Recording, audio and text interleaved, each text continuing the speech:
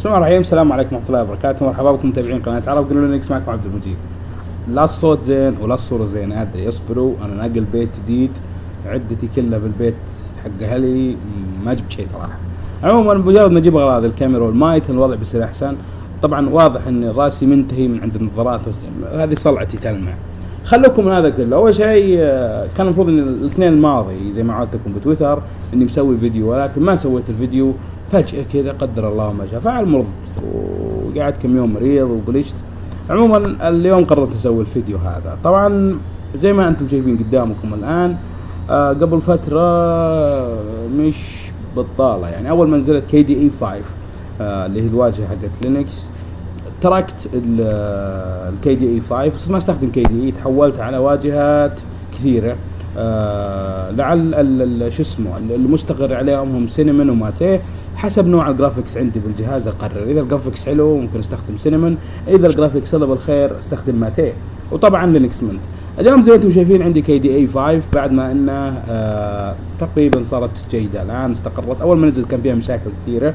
آه ال vlog هذا راح اسولف شوي معكم عن التطورات الأخيرة اللي صارت بال Linux معي أنا شخصيا وبرنامج حلو جدا أبيكم تشوفونه اليوم وهو KDE Connect طبعا KDE Connect هذا بعطي له آه الآن مجاله وبعطي له مراجعة سريعة وتبون تفاصيل ما أعتقد إنه يحتاج تفاصيل أكثر آه ولكن بحط له درس خاص للي حابين يستخدمونه. أول حاجة بالنسبة للينكس أنا ما زلت مستخدم يومي للينكس قل استخدامي للينكس آه بسبب إنه أنا شخص ما أعرف أسوي شغلتين بنفس الوقت يا أسوي هذا يا أسوي هذا. فكنت أشتغل على Mac كثير بخصوص عشان تطبيقات الآيفون آه وتطبيقات الآبل بشكل عام. أنتم عارفين عشان أقدر أشتغل هناك بـ Xcode. كل اللي تبي تقولونه يا جماعة الخير بخصوص إنه ممكن وفي حلول ممكن تشتغل بلينكس بدون ما تضطر لل Mac أنا عارف. ولكن أنا أبغى أستخدم ال Mac علشان أتبع آه سياسة واضحة ما يكون عندي مشاكل بشغله وأتأكد إن تطبيقاتي جا- جاهزة وسليمة و100% شغالة. آه علما بأنه شغال على Ionic أصلا وممكن أشتغل على Ionic بس عشان أسوي test على ال native features لازم يكون عندي Mac طيب آه عموما كل هذه مجرد فلسفة شخصية كل واحد وطريقته بالعمل. آه لينكس ما زال موجود في حياتي اليومية طبعا أستخدم لينكس اليوم يمكن يمكن معظم الوقت.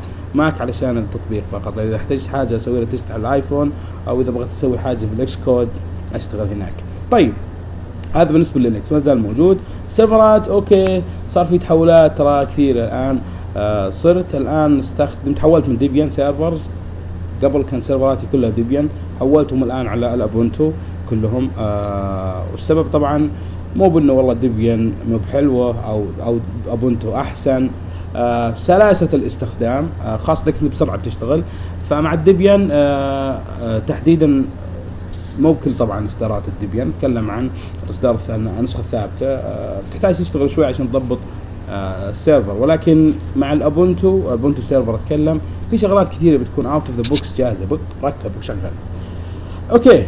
KDE الحمد لله مبسوط جدا معاه. ما سويت أي تخصيص اللهم كم شغلة زي ما تشوفين على سطح المكتب مبسوط. أسوي طبعا صار لها KDE كم يوم عندي آه، اللي هي Linux Mint إصدار هذا 18.2 واجهه KDE. بالنسبة لبرنامج كي دي إي كونكت كي دي إي كونكت بعطيكم فكرة عنه.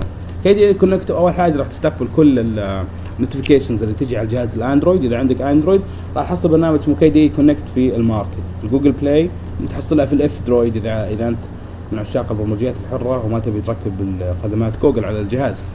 آه فتستقبل كل التنبيهات. تجي لك على شريط البرامج هنا. الحاجة الثانية تتصفح ملفات ال- الجوال عندك بكل سهولة. okay? فوق هذا كله في تحكم عن بعد بالماوس وبالكيبورد. ممكن تكتب بالجوال على الجهاز. طبعا نوع الجوال هذا الحلو الظريف. okay? خلونا أنا كنت حاط وضع الطيران. أفك وضع الطيران الحين. طبعا مجرد ما أفك وضع الطيران راح يتصلون مع بعض الآن. اتصال تلقائي بس يكون على نفس الشبكة.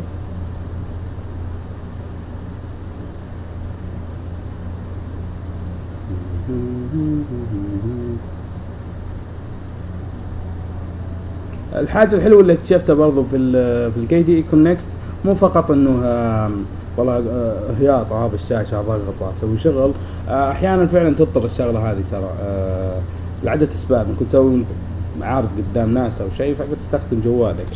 آه، الحاجة اللي ما حبيتها بال- بالموضوع ان الواي فاي عندي أبطأ ما شبك أوكي شبك الواي فاي إيه نروح للتطبيق حقنا. أوكي اشتغل. طبعا زي ما أنتم شايفين مباشره جاء موتوريلا البطارية كام؟ 51 وديسشارجنج التنبيهات راح تطلع هنا عندي. فوق. آه إذا جت تنبيهات. وممكن برضه أفتح تطبيق كيف يكونكت من هنا.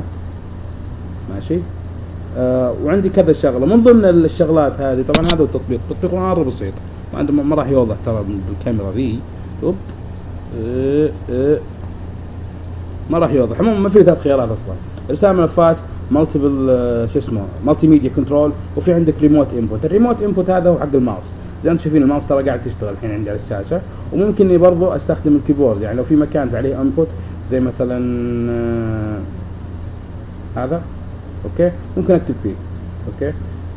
بك أمسح. قاعد أكتب الحين. آه زي ما أنتم شايفين. فهذا هذا مجرد إنك تحط اصبعك على الشاشة وتحرك يشتغل معك في أي مكان بالشاشه والكيبورد حق الكمبيوتر بأي لغة تكتب راح يظهر هناك. يعني الحين لو أكتب بالعربي لو فتحنا مثلا أصبر بما إن عندي هذا الحلو أقدر أفتح من هنا وأفتح مثلا مثلا مثلا إيه نروح على صدق ما أدري هو بوكيت. الظاهر إنه معي تلي آه افتح اوفيس خلنا نفتح على سبريد شيت أوكي؟ فزي ما أنتم شايفين أنا هنا ممكن أكتب بالإنجليزي أو بالعربي. okay? يعني أكتب بسم الله. enter okay? فالوضع مرة مرة مبسوط أنا مع هذا. مو فقط ترى أنا قليل أستخدم الكيبورد والماوس. ما احتجته من الآن فعليا. بس اللي ارتحت معه كثير تنبيهات تجين بدون ما أشيك على الجوال. الحاجة الثانية إنه الملفات مرة مرة سهل الموضوع. حتى من زر share على أي صورة عندك أو ملف وسائط في يعني قابلية لل share ممكن ترسله مباشرة يكون موجود عندك على الجهاز. أه حبيت بس أه ختم بال... انه أقول لكم نرجع إن شاء الله القناة. أه عندي سلسلة من الدروس إن شاء الله بقدمها قريبا عن ال web development وبرمجيات الحرة يعني كيف تشتغل على تكون مطور ويب تستخدم برمجيات حرة و بس. بيكون في دروس إن شاء الله. نستخدم ال PHP أغلب الوقت. ال IDE غير مهم. آه وش راح تستخدم شيء ارجع لك. بس أهم شيء التقنيات اللي قاعد تشتغل عليها هي كلها open source انتهى الفيديو انتهى الكلام حق اليوم. أشوفكم إن شاء الله فيديو جاي. مع السلامة.